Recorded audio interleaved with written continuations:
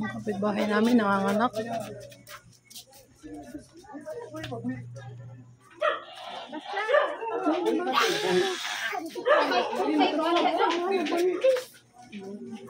Malos pa na ba siya?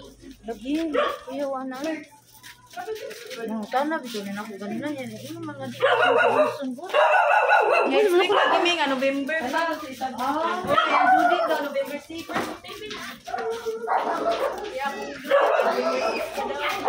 Nanganganak na, nag-labor. Dali, dali, dali.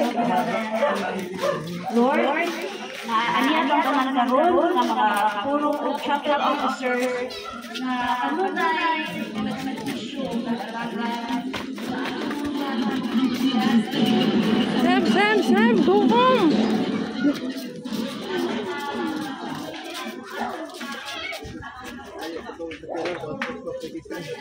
Asan ang sakyan ya?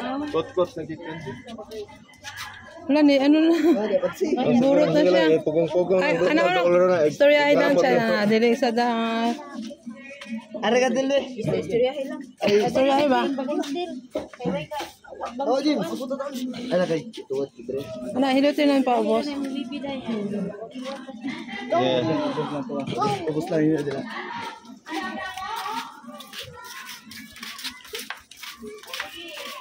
dila. Bungkan mo? Sarap.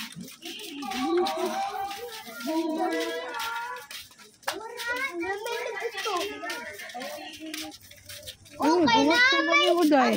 Pauli mo, mati, pauli na. Oo, di ka na daw siya. Yung ba na? Nakabiligan, huli ay pa to. Ate, naay mo. Naay mo to.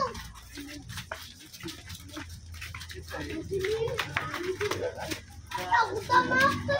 Ikaw! Usama ka na. Ibalik na na mo yung lingkuranan. Ano?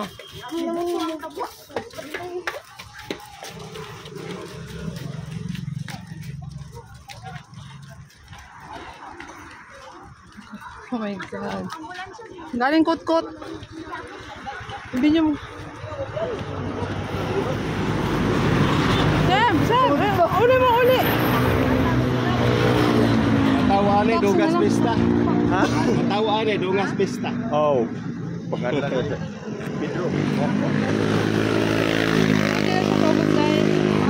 Sorry, ano siya, dong, dahil ayaw sa gawa sana.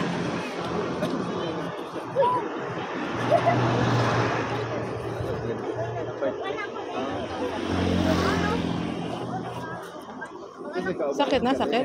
Ganyan na siya. Sakit na ba? Sakit na?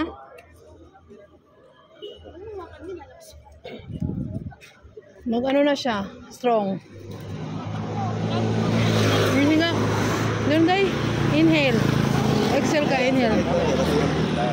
Inhale. Anak.